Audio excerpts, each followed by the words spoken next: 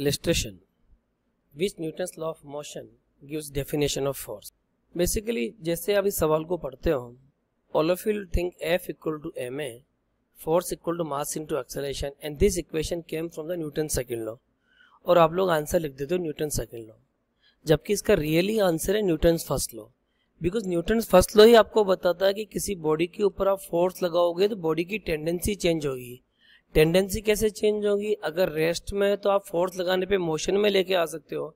अगर कोई body motion में है तो अगर आप अपोजिट फोर्स लगा के उसको रेस्ट में ला सकते हो। So we will say Newton first law of motion gives the definition of force